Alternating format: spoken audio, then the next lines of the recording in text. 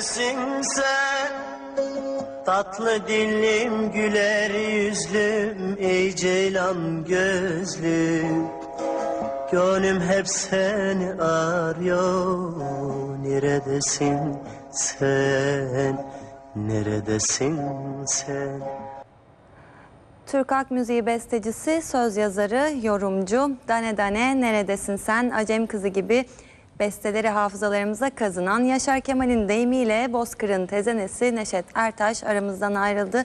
Biz de ustanın anısına özel bir programla karşınızdayız. Stüdyo konuğumuz da onu yakından tanıyan, onunla aynı sahneyi paylaşmış bir isim Fatih Kısaparmak.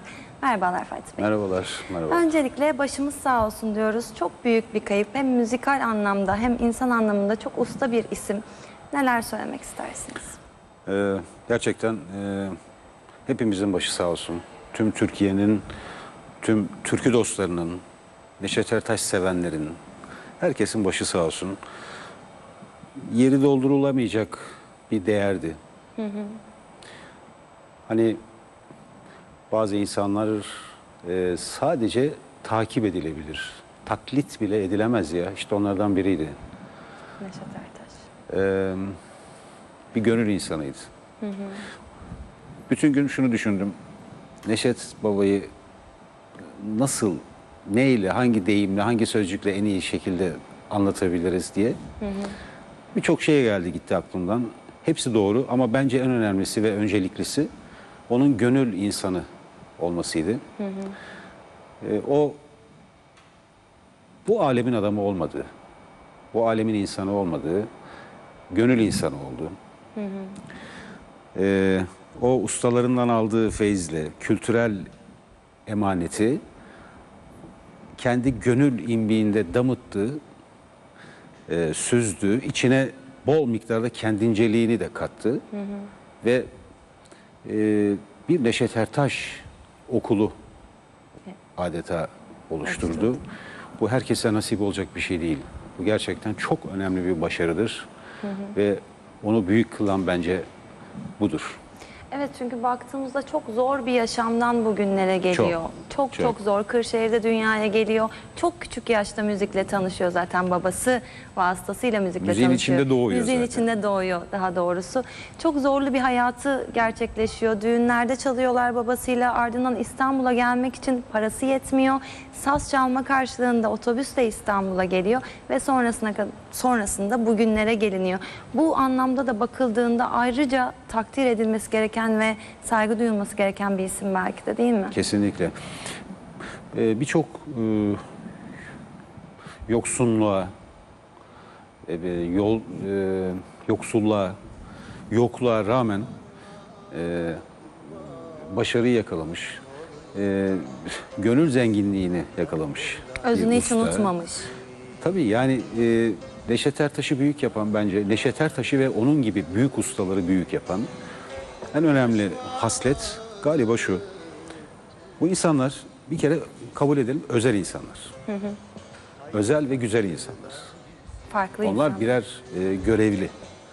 Bu gezegende e, onların görevli olduğunu, ödevli olduğunu düşünüyorum.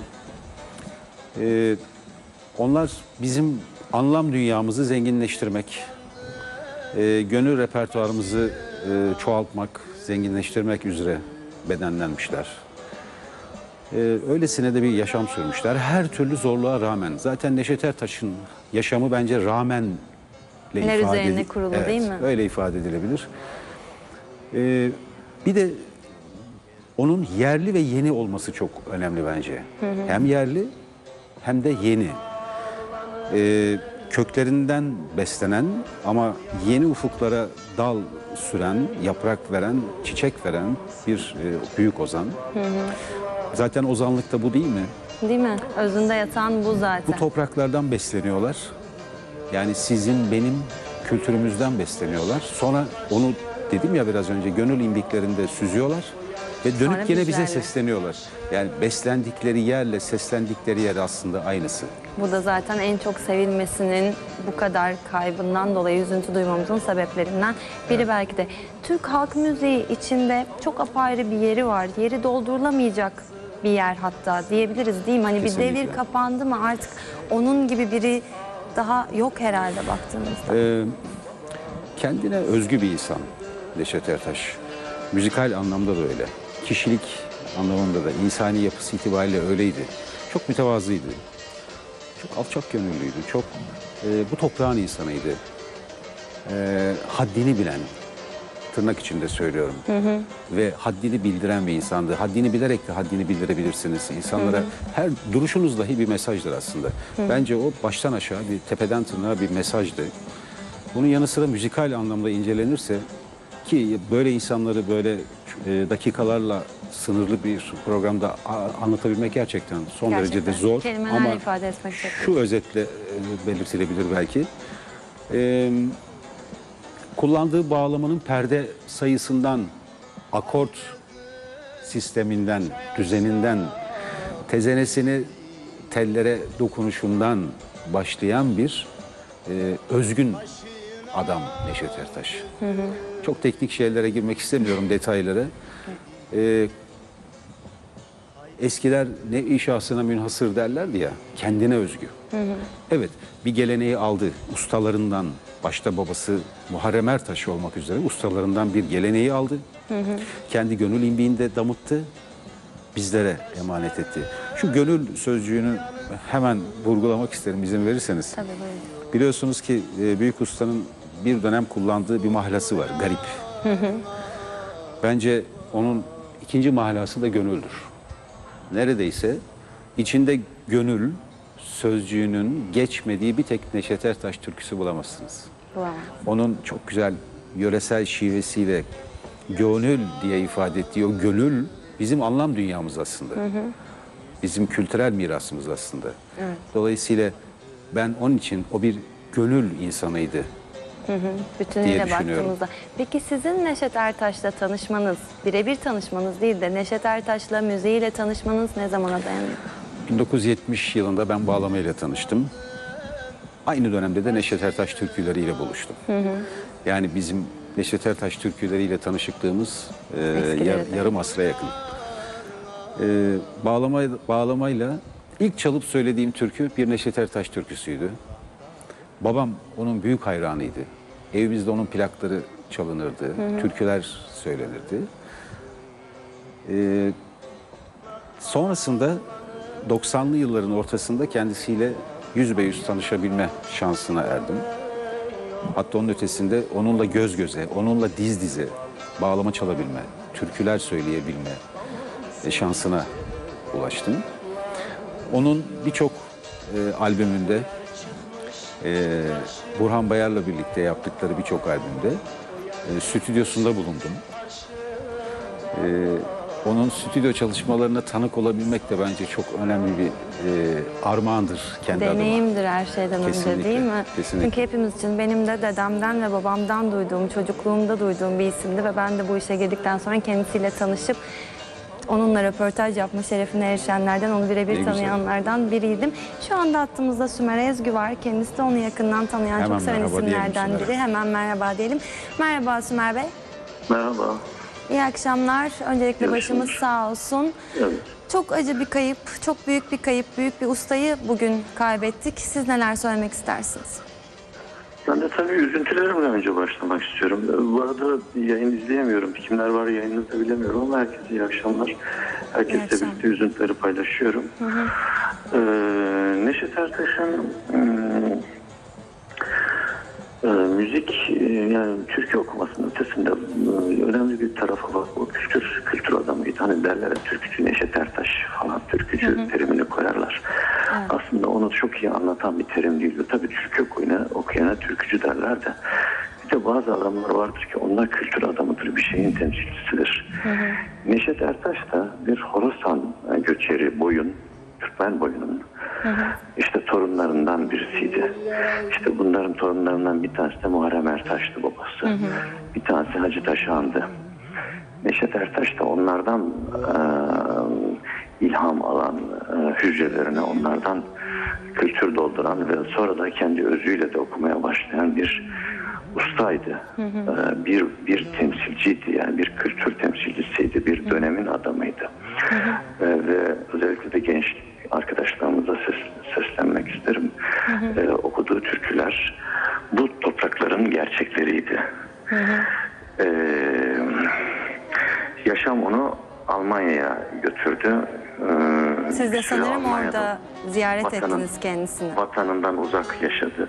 Evet ben onu Almanya'da ziyaret etmiştim. İlk o zaman tanıştım.